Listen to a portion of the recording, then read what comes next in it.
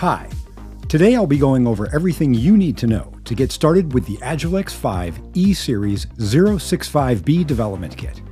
Understanding today's requirements for power, performance, time to market, and flexibility, Altera has developed this general purpose development kit with the best in class Agilex 5 E Series FPGA, the first FPGA fabric infused with AI tensor blocks to help accelerate your time to market. This development kit is suited for a wide range of applications, from communication networking to the intelligent edge, industrial automation, video processing, medical, and many more. Let's check out the development kit contents and set up the board. This kit comes with all the cables you need to set up and get started. You'll also find a card with a QR code and a link that will take you to the Quick Start Guide. From the Quick Start Guide, you will be able to find detailed instructions on how to set up your board, where to access design examples, the board test system, and download schematics for the board.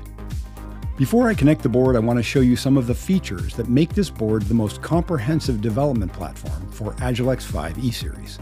On this board, you will find DDR4 and LPDDR4 memory components, a MAX10 device for simple and fast configuration, and several SMA connectors to connect to transceivers on the FPGA.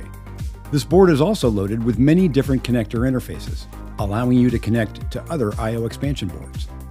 It has two SFP Plus cages, one FMC Plus expansion header, two QSFP28 connectors, one SGMII port, one RGMII port, and one MIPI port.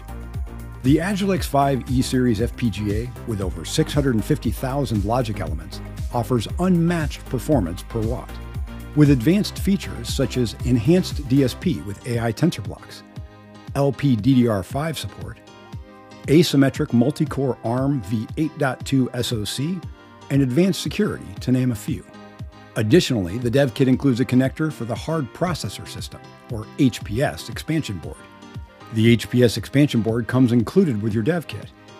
It supports I3C, 1588 time-sensitive networking, non-volatile DDR NAND, a mini USB port, USB 3.1 Gen 1, an Ethernet port, and a microSD card port. Now, let's connect the board and boot Linux on the HPS.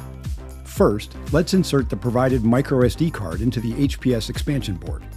This microSD card is preloaded with all the firmware needed to load the Golden System reference design.